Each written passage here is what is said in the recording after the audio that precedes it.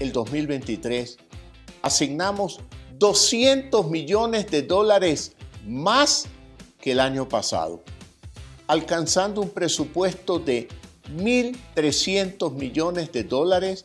También nos hemos ocupado de la educación técnica que otorga títulos de tercer nivel reconocidos por la CENESID.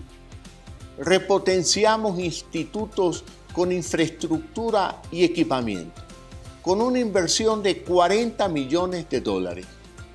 Además, creamos cuatro nuevos institutos públicos, acercando la educación técnica a zonas del país donde antes no existía, como por ejemplo en Galápagos.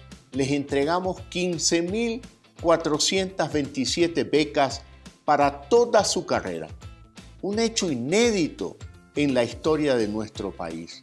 En un solo año hemos adjudicado el número de becas equivalente a lo entregado entre el 2014 y el 2020. Y el 60% de los becarios son mujeres. Nuestro trabajo continúa.